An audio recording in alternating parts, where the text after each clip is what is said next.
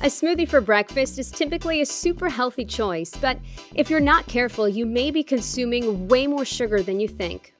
To cut down on the sugar, Gwyneth Paltrow has an interesting swap. She ditches the bananas in her already fruity smoothies and adds frozen cauliflower instead to get that same awesome creaminess.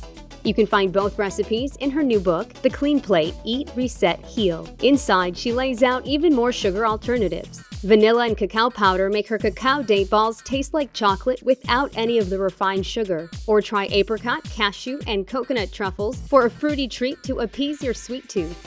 The book covers all bases with 100 plus recipes, everything from yummy breakfast options to satisfying dinners. Her focus is on clean eating that actually tastes good and steering clear of processed foods, alcohol, soy, caffeine, and sugar.